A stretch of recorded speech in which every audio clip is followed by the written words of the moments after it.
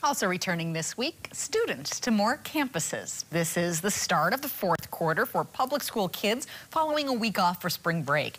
And many campuses are returning to in-person learning full-time, with families also given the option to continue distance learning. We visited Hokulani Elementary this morning and spoke to the principal who said more than 90% of students came back to school.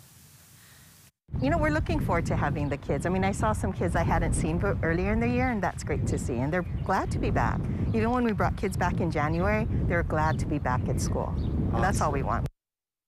Yeah, everyone on campus is required to wear a mask and practice social distancing. High touch points are also frequently cleaned.